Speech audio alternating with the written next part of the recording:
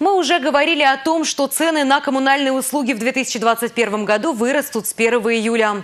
Утвержден индекс оплаты коммунальных услуг по республике в среднем 3-4%.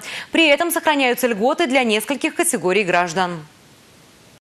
Размер платежа зависит от набора коммунальных услуг и формируется из двух составляющих – объема потребления коммунальной услуги и тарифа на соответствующую услугу. Растут цены, растет и количество нуждающихся в субсидии, предоставляемой государству.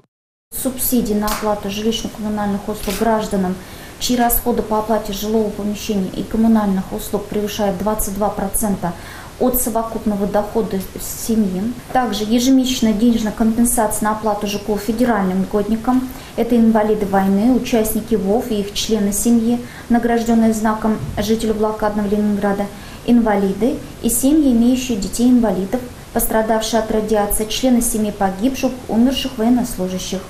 Из-за пандемии в этом году перерасчет делался без предоставления документов, если человек уже пользовался поддержкой, хотя по закону обновлять их необходимо каждые полгода. Для определения права на получение субсидий впервые документы все же нужны. Необходимо обратиться в органы социальной защиты по месту жительства. По итогам 11 месяцев 2020 года компенсации субсидий получили более 300 тысяч жителей республики на сумму около полтора миллиарда рублей.